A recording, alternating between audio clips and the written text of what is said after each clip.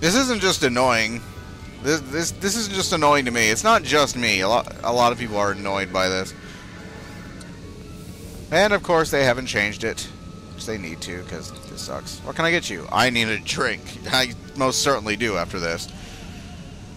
I'll need some more details before I can make a drink for you. If you need help figuring out what combination of ingredients you want, you should talk to one of the waitresses. That's what they're here for, after all. So, do you want it to be hot or cold? Cold. What kind of flavor profile are, you looking for? I'm going for sour. How strong do you want this drink to be? A little pick-me-up. How would you like this drink to be served? In a stemmed glass. And last but certainly not least, what kind of garnish would you like? A drop of honey. That should be all the info I need. I'll put the drink on the bar when I'm done, and put a bill on your tab. Thank you. Oh, the interest on that. Nerve tonic.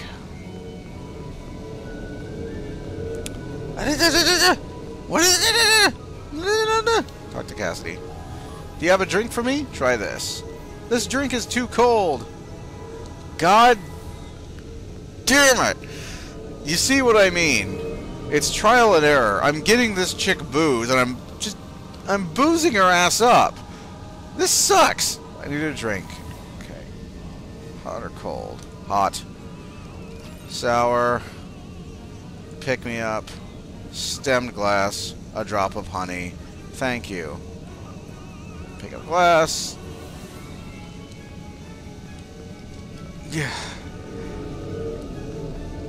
Okay, here's your fucking nerve tonic. Drink for me? Try this. I love warm drinks. They're so relaxing. I'm glad you find the temperature pleasant. There's a lovely sour note in this drink. I feel so refreshed. I'm glad. I thought this would be right for you. There's just enough oomph in this drink to make it really stick with you. I like that. You look like you could, you look like you could use a little pick-me-up. I love the style of the glass. What the fuck does the glass have anything to do with it? Come on! It accentuates the flavor of the ingredients. Aesthetics are important. The right glass makes the right drink even better, dumbass. Honey! Ooh, that little bit of sweetness is just perfect. It adds the most delightful note to each sip. I'm glad that that even the last drop of this drink is making you happy. And I say that with as much dripping sarcasm as I can muster. Ugh.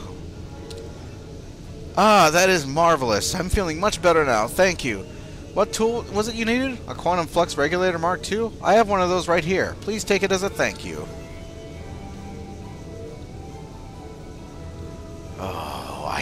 You so much.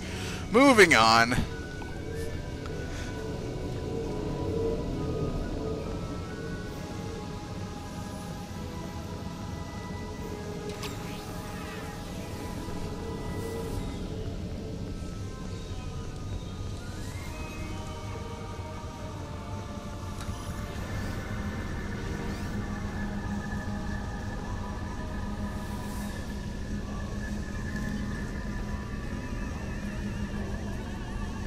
Okay.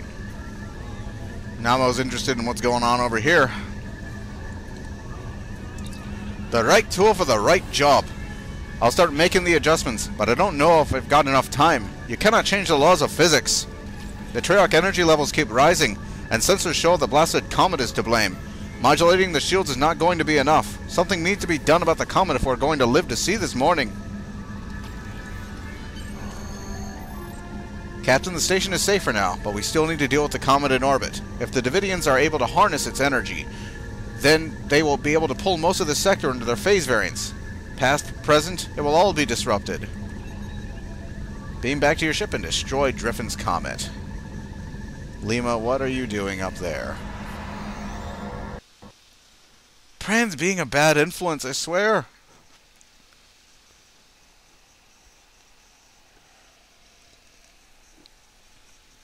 I need a drink.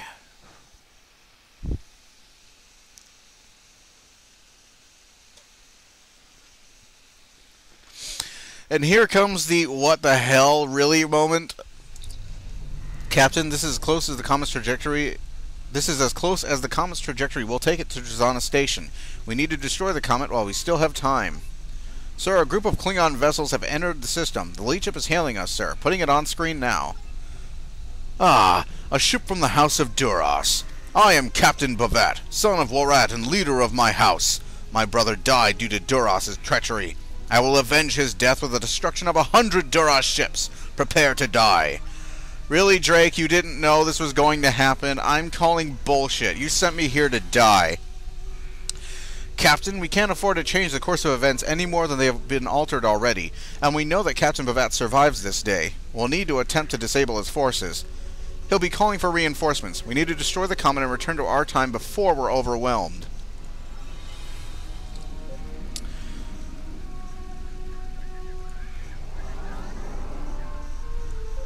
So, yeah. And they will cut through your goddamn shields like nothing.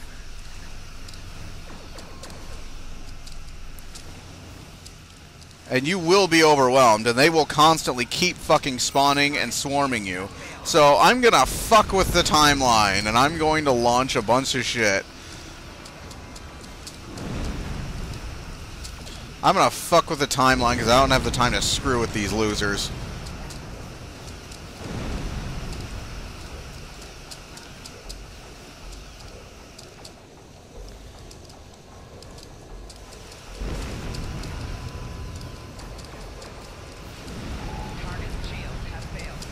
Fuck you, Bavat.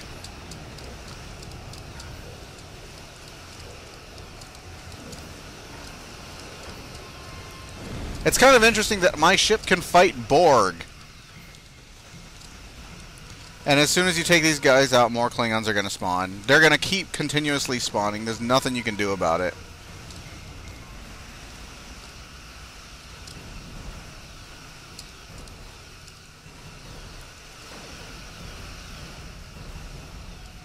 And uh, the comet is going to divide into much smaller parts, and now we have a bunch of other Klingon ships to deal with. Hooray!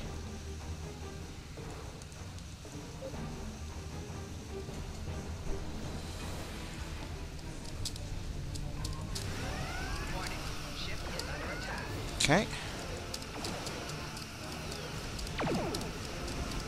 So you've got to stop and deal with these guys, otherwise you're going to get killed. Again, why 23rd century Klingon ships are able to damage you, I don't know. The technological edge you should have on these guys is monstrous. And they are able to eat through my shields.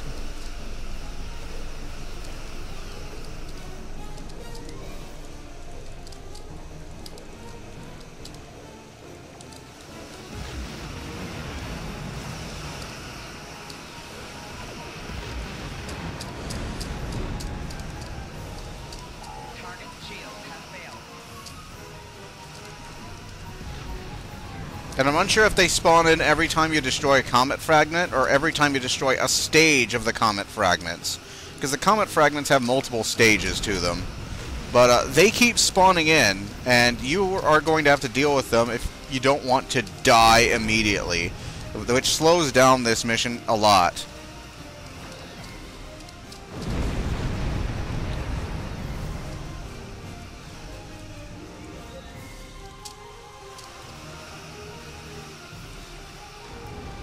Yep, they spawn in every time you destroy something, and this space is going to get incredibly, incredibly fucking crowded.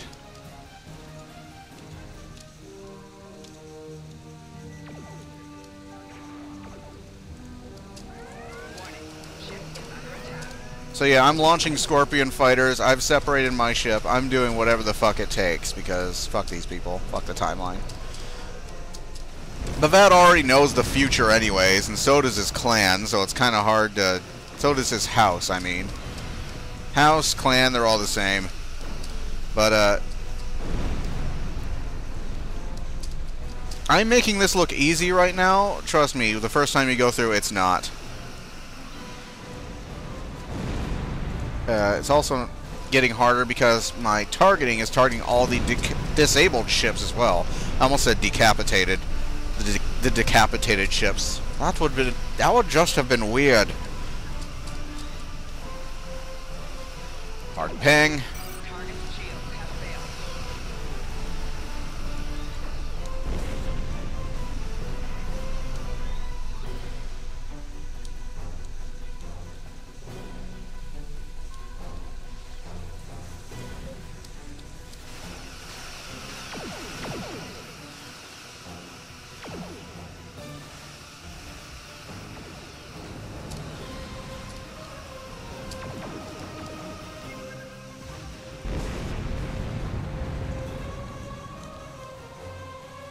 Alright, I'm not seeing any other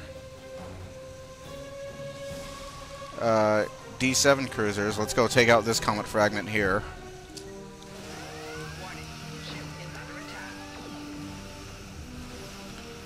I'm not going to high yield because my fighters are already going to be launching a shit ton of torpedoes at the other thing. Oh shit, I don't want to blow this thing up yet because they're blowing up that one. I don't want to bring that many Klingon cruisers in here I'm fucked.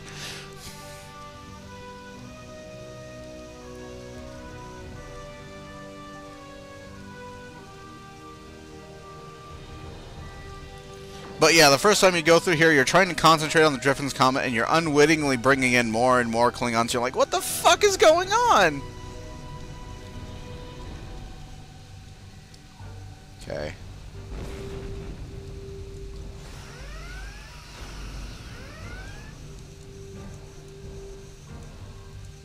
Yep, we've got company.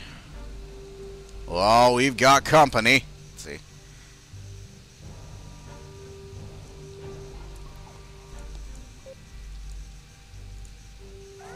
Warning. Ship is under attack.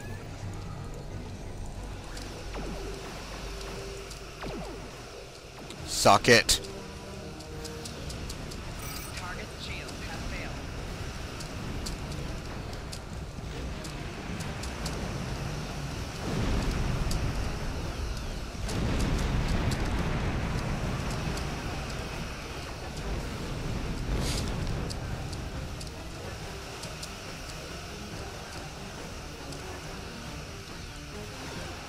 High yield. Quantum torpedoes.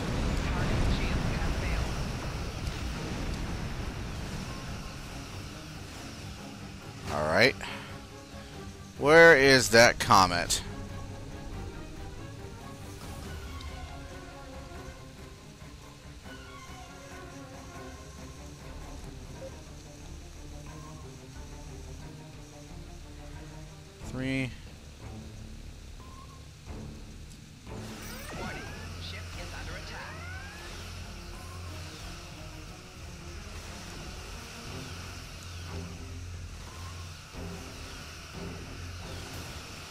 So yeah, they show up whenever you defeat the next stage of the comet.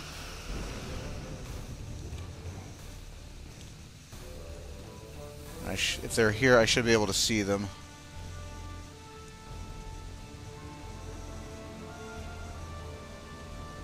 I don't see them yet.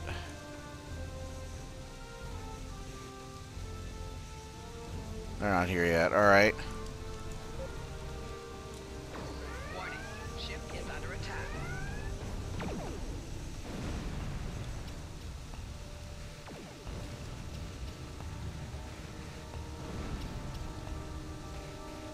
Okay, once this is destroyed, let's see if they show up. You won't be rid of me until you're burning in Grethor! Helm, ramming speed! Captain Bavat's ship has taken a lot of damage. We can't risk firing on it without damaging it further. Uh, that means time to get the fudge out.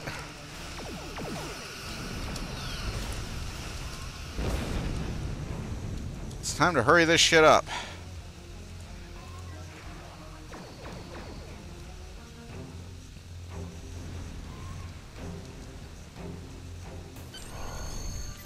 Come back. So yeah, the group I was in, the one that I was talking about managing to survive in, that was weird. That did it, Captain. The remaining comet debris is too small to be a threat. Now we just need to find a way to... One moment, sir. I'm detecting a temporal anomaly. It's forming inside the Woglinde. DP, if you are receiving this message, then you and your crew have completed your mission. Dreffin's comet is destroyed and the Devidians are no longer a threat to the Federation. You've done well, and to prove that I'm not the immoral monster that some make me out to be, I'm going to help you. When you last docked at Deep Space K7, I had some modifications made to your vessel. One of those is the addition of a Borg temporal node salvaged from a cube in the Batron cluster. It's set to return you to your time. Congratulations on a job well done. Drake out.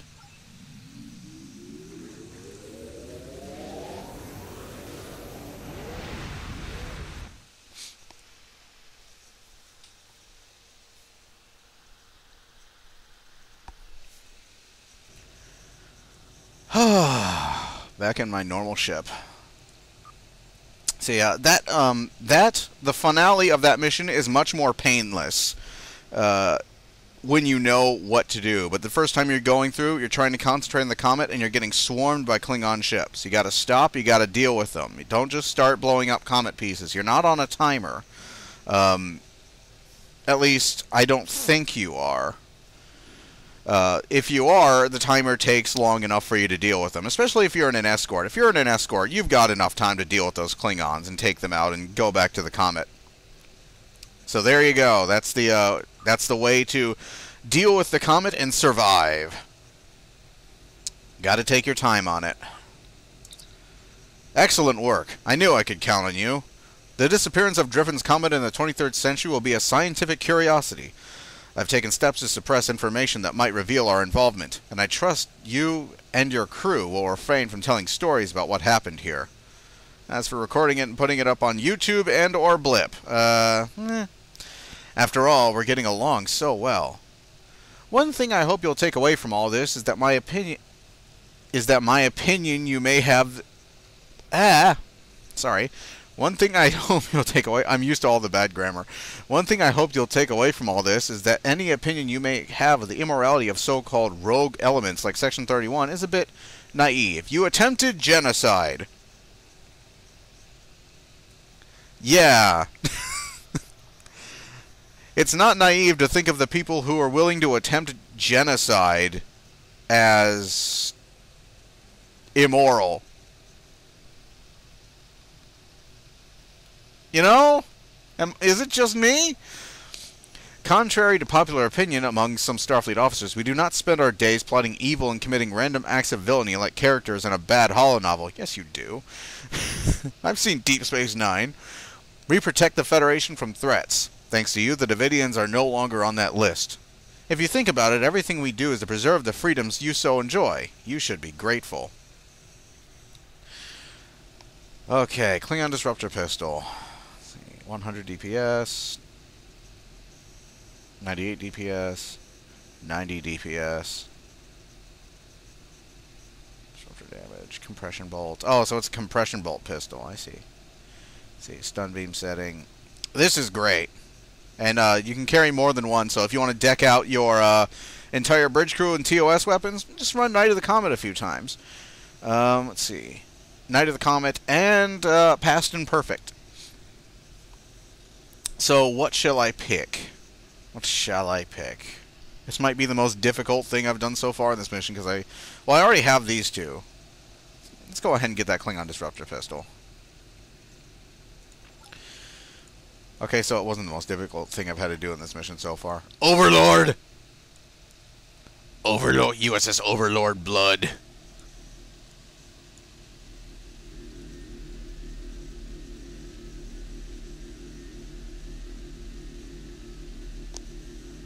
Got like a biohazard symbol. Your ship is a biohazard. That doesn't really send the great message, does it? Like all those flaming cryptic avatars on the official forums right now because of the free-to-play. So, wait a minute. I think somebody actually... There's a like, there's a bunch of users who are wearing uh, like flaming cryptic avatars with like a big no sign on it. Uh, and there's like people are trying others chime in. So, what you're saying is no fires at Cryptic? Fire safety at Cryptic headquarters? It's, I don't think that's the message you're trying to convey. I don't know where I'm going right now, but I'm going there.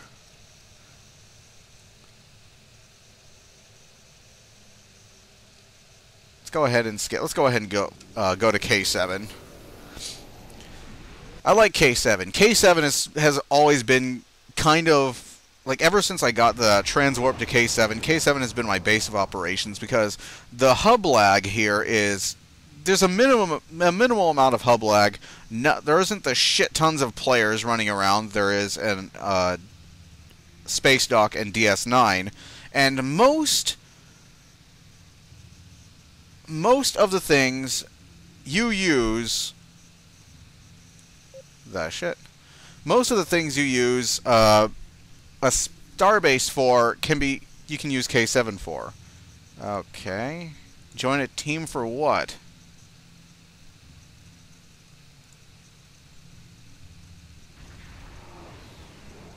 Is he just spamming team invites? Because if he is, I'm going to leave.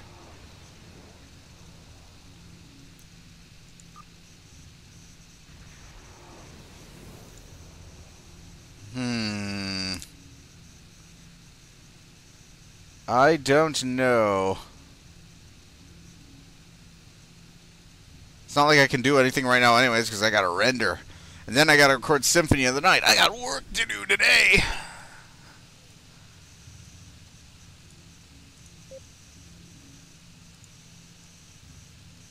Hi.